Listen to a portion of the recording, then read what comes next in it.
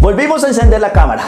Bienvenidos. 2020 terminando, para algunos ha sido un año difícil, para otros un año casi muerto, para mí un año de decisiones. ¿Se acuerda que el Jordán era el momento de decisiones? Pues para mi esposa y yo también lo ha sido.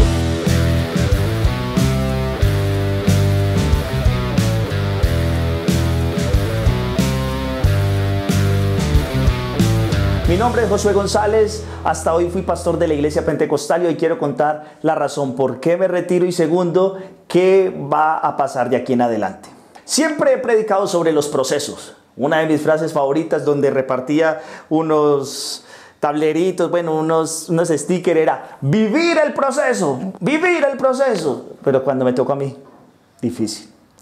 Y este año ha sido muy difícil, se me ha quitado el sueño, el hambre. Bueno, no se nota, pero sí se me ha quitado el hambre. Ha sido un momento trascendental para nuestras vidas.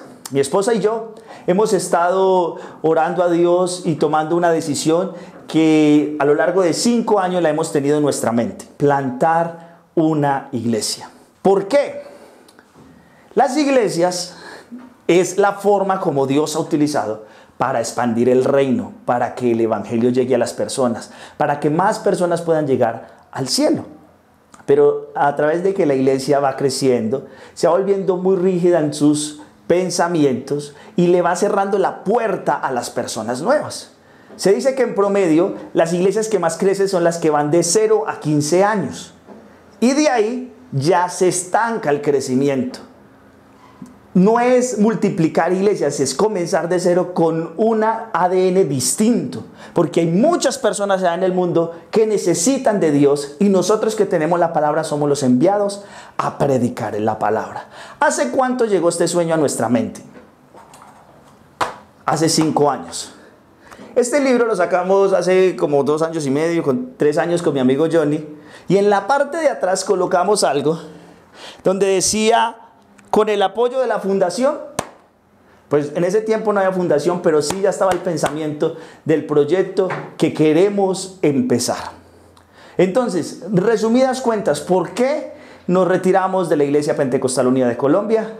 Sencillamente porque nuestra forma de pensar no encaja en la cultura organizacional. Y para no hacernos daño mutuo, preferimos dar un paso al costado. Ha sido muy difícil. Mi padre es pastor hace 37 años en la IPU.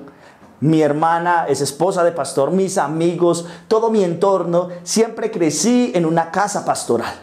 En mi corazón y en mi mente está el deseo de llevar el Evangelio, de ver nuevas generaciones eh, llegando a Jesús. Para mí hay un peso enorme con mi esposa de los millennials que necesitan escuchar la voz de Dios. Segundo, ¿qué vamos a hacer? Plantar una iglesia. ¿Y con qué organización se va? Con ninguna.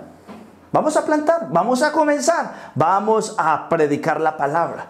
No es una invitación para que los de la IPUT se vengan, no. Es una invitación para todo aquel que no tiene iglesia y que quiere acercarse a Jesús. A través de las redes sociales comenzaremos desde hoy a predicar la palabra y cerraremos hoy una puerta, una historia, algo que vivimos y que le agradecemos enormemente porque estoy agradecido con la iglesia pentecostal, porque allí aprendí, allí comencé dos iglesias como fue en Chinchiná y en Montenegro, pero ya es momento que sentimos de parte de Dios cortar este proceso y comenzar uno nuevo. Este es nuestro Jordán, un lugar de decisión donde hoy decidimos con mi esposa comenzar una iglesia. Entonces, gracias a ustedes por tomarse el tiempo de ver este video. Gracias a ustedes por las oraciones. Permito, eh, le pido a Dios perdón, que no me juzguen, ni a mí ni a mi esposa. Que tengan el pensamiento de Gamaliel, ese gran hombre respetado en el Sanedrín en Israel. Que lo que es de Dios permanece.